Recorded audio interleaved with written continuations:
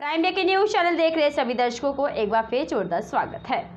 लखीमपुर खीरी से देखिए बड़ी खबर आ रही है। हैरान करने वाली खबर आ रही है। आपको बताते चले खजूरिया ग्राम प्रधान की हत्या के आरोपियों की घेराबंदी में चली गोली।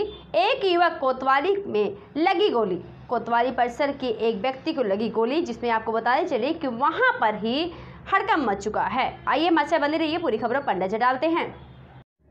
लखीमपुर, खीरी, मोहम्मदी, कोतवाली क्षेत्र में खजूरिया हत्याकांड के बीती रात पुलिस ने कोतवाली के हुए मुठभेड़ कोतवाली संजय त्यागी को भी लगी गोली।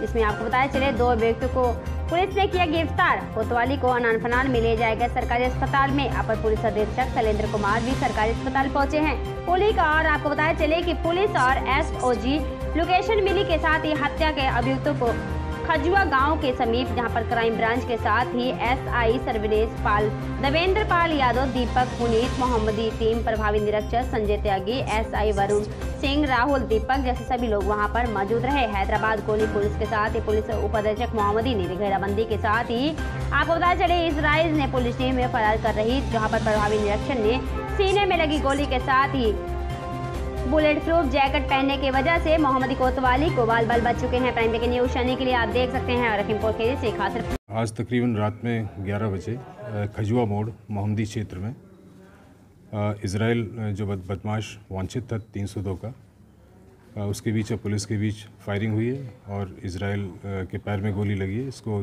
ट्रीटमेंट हेतु जिला अस्पताल लाया गया है। सुबह इन लोगों ने इसके फादर इलियास की हत्या करी थी और 2008 में इसके बेटे की भी इन अभियुक्तों द्वारा हत्या की गई थी।